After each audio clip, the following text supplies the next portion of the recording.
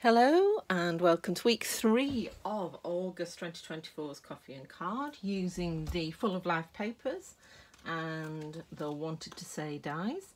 And this week um, I've used the Designer Series paper for the back of the sentiment and the sentiment itself. that was a bit woohoo. And then um, I've used this side of that paper, but I'm going to show you, I hope, how to get these squares centered on your mat. Um, so we're going to use that side today. No idea how it's going to turn out, so let's go. Right, so we just go to this. So you've got a standard card blank, so it's 14.85 by 20 scored at 10 and a half, and this piece is 13.9 by 9 and a half. I'll put the measurements in the description so that you don't have to write them down. So now, I went a bit funky on this layer. Just panicking that I've not put it in your kits, but I have, it's there. So this one is 9.8 by 14.2 so I've just made it two cent two millimeters smaller than I would do a normal one so we've just got this very fine border here. So it's one and a half millimeters that border instead of the usual two and a half. It does make quite a big difference I think you'll find. And then I've done this one just the standard nine and a half by yeah 13.9 so what I'm going to do now is I'm going to get my piece of paper and I'm going to see where nine and a half lands. So if I put it to next to the second, the edge of the first square, we're going to end up with no white here, but a white strip there. So what I'm going to do is I'm just going to move it until, and I think you'll find if you look there, the nine and a half is in the middle of that green square and in the middle of that pink square. So if we trim off that little bit there, which is about about seven millimeters maybe but I'm going to do the first one by eye. And then if I do the same on this side to the 13.9 that again will bring us to the middle of here. Okay.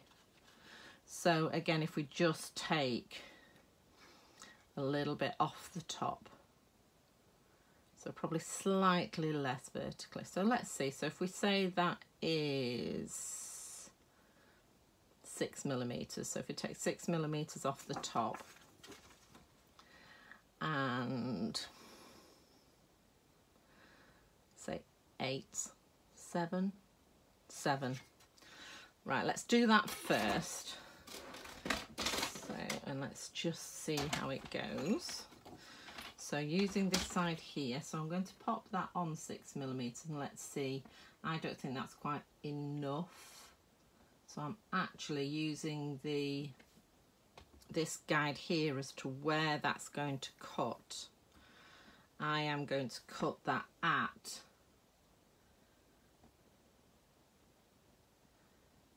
six millimeters because I need more of a square on this one than I do on that one if you see what I mean. oh. Right, so six millimeters off there so that we've got sort of a two thirds of a square here and this one is where I need to go about half so I'm saying that's probably about there and that is eight millimeters so I'm just going to take eight millimeters off there so from the one that you've taken eight millimeters we're going to do nine and a half and you can see there that we've come partially into a square. And then from this side I'm going to do 13.9 which is going to be there. So there we go you see. So we've got no big white bits around the edges which is what I want. We've got a piece left to do our die cutting in which is what I also wanted. So and there's our our mat. So you can rewind and do that again um, if you didn't quite follow it um, so and I'll try and write it down in the description when I do it. We shall see how we go with that. okay, so let's see how that looks on the front. Okay, so So there you go. So you've got your nice little, oh, I really like that. That is really nice. Okay, so you've got your very narrow border all the way around the edge.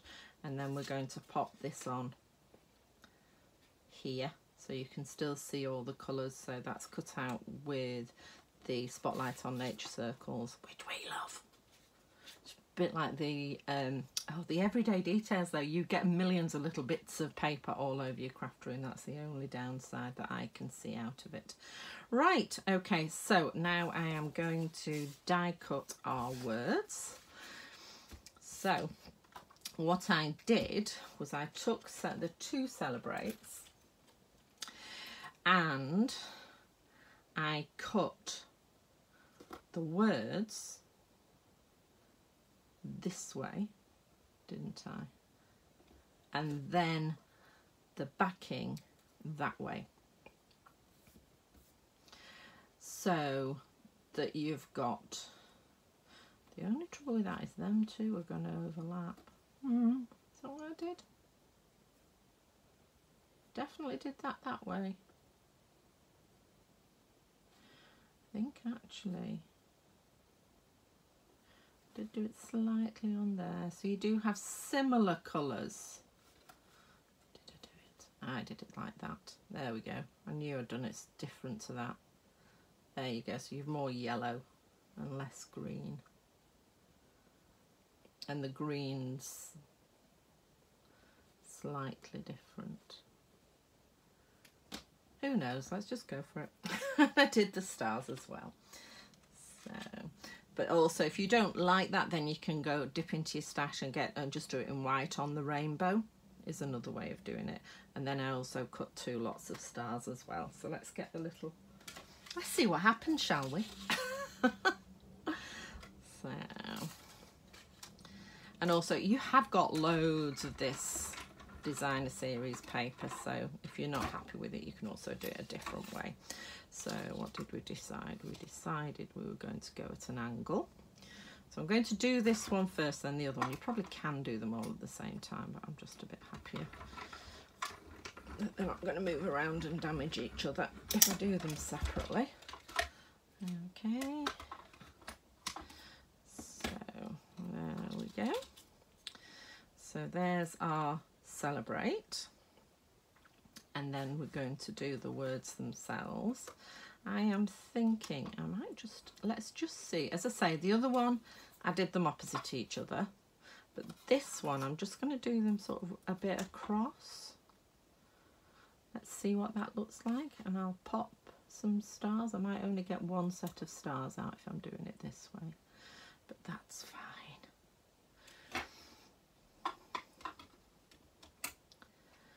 It's all trial and error this. so, and I think there's just so many different, uh, different ways you can do this. So let's see what we've got left. Right. So I'll pop that out, put that there. That'll be a surprise in a minute when we take it out. I'm just checking. Have I got... Oh, just... Yes! I have got an extra set of stars just going to pop that there. It just squeezes in. Don't move, it's moved. Go, go, go, it would help if I actually had it in the rings before I started turning them. Or in the rollers rather. Okay, so that's that this out of the way. See what it's done. Okay, so we've got that one. We've got, you could always use the other side as well, you know. I think it would look a bit odd because it's got the white lines on it. Now I love that Celebrate. Let's just see if it fits with this other one, with its backing. We've got these two. I think we can safely say that's done.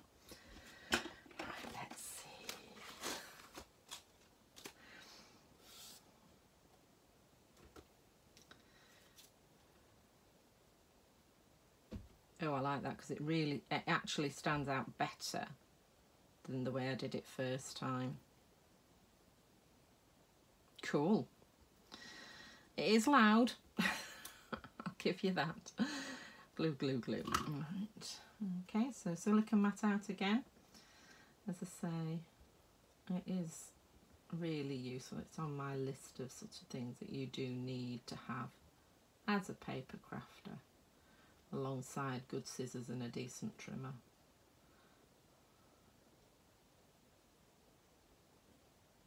And to be honest, when I started out, I just had good trimmer, a few stamps and a few punches.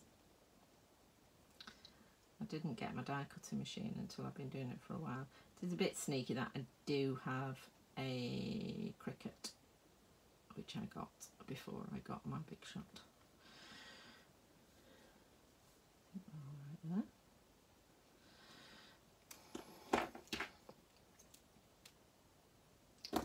Miss that E.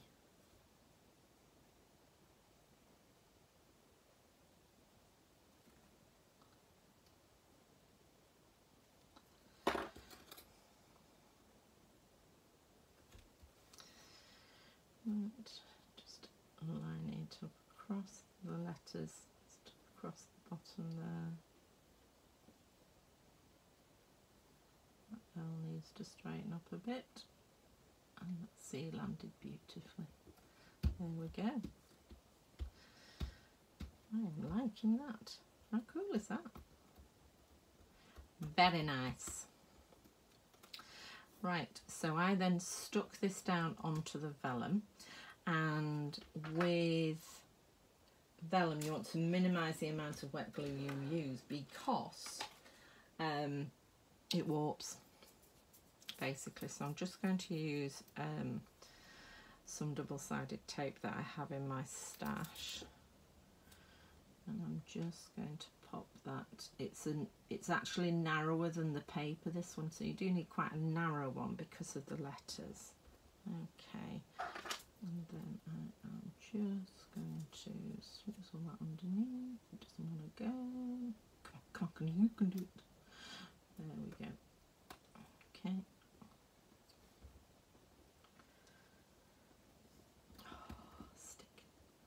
It's very warm and humid, which could be why things aren't sticking as they should. And I just had my nails done. so, and then to stick the, the C down, I am just doing a few tiny, tiny, weeny drops of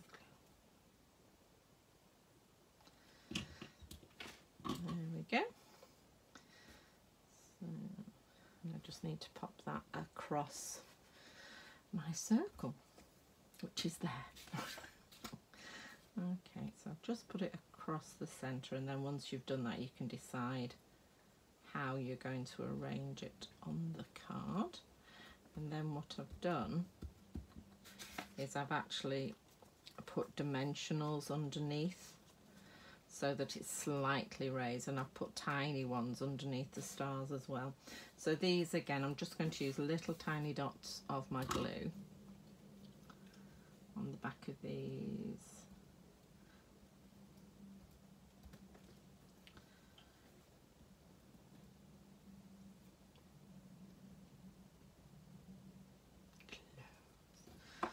Disappearing off screen down here, sorry, there they are. Ah! Okay, and I did that one there. And then the other one at the bottom again, tiny weeny dots.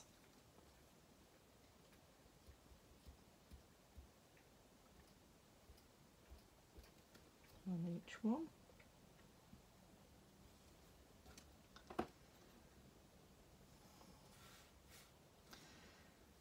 And I'm just going to pop that there. Okay, turn it over and get my dimensional. So I have actually decided to use the little ones. I've just got a little pack out here and I'm just going to stick little ones behind all the letters.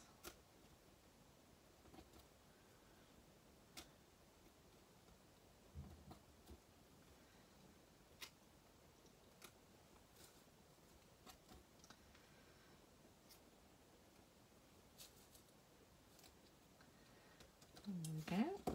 And then on strip I've got here, where are my scissors? There they are. Just going to do some very narrow pieces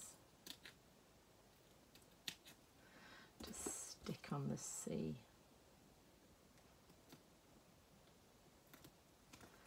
Just to hold it up. So I'll put one there. And then this one.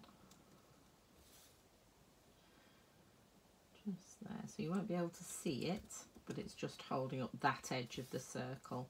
And then again little ones. And I'm just putting them behind the big stars. I think that might be too small. Oh, just there. So I think that'll be enough. Okay. So let's put it together out of the way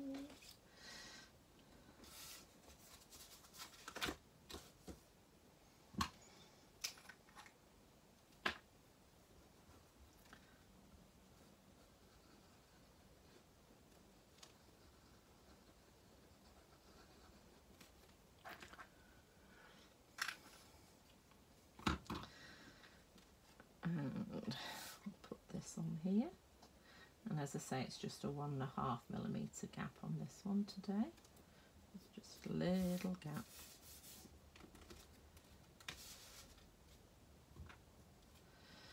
So obviously if you don't want to do all the measuring just do this side. Well you could just cut it off the square. It's just I, I'm not fond of the extra wide white bit down the side. That's a bit wider than all the other white bits. So I like it to be starting on the pattern.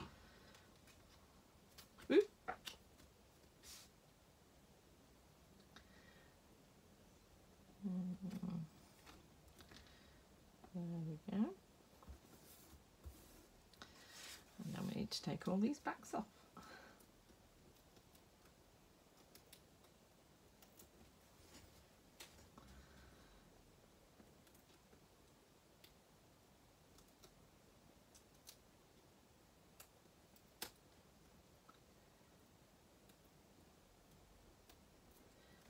to come off that one.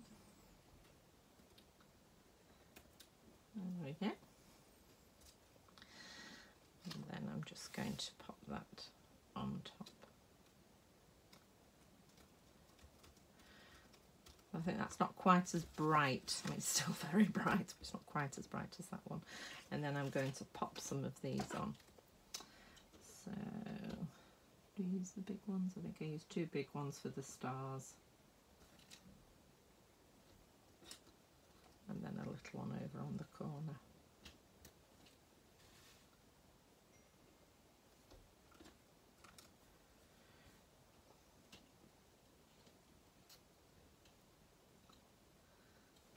So to do the rule of threes. And I'm doing it on that dark one there I think it might show more. Maybe. Who knows? Right there we go. So nice sparkle. And you've got a white piece left that you can stick on the inside.